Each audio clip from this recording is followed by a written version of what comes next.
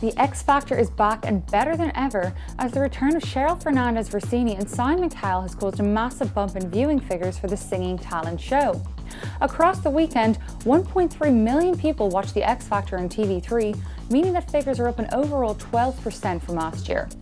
It's a good day for Cecilia Ahern because the Dublin shot Love Rosie film, which is based on her best selling novel Where Rainbows End, has been agreed for US distribution, with release dates tentatively scheduled for next year. The film stars Lily Collins and Sam Claflin as star-crossed lovers who face obstacle after obstacle in their journey to finding love. Things are hotting up between reality stars Lauren Goodger and Geordie Shore's Ricci in the celebrity Big Brother house.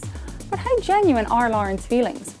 While Ricci has admitted many times that he fancies Lauren and cares about her so, so much, fellow housemate James Jordan warned him that Lauren might be playing games and using him and the romance to stay in the house and avoid eviction. Watch this space. For more on these stories and other news, keep coming back to evoke.ie.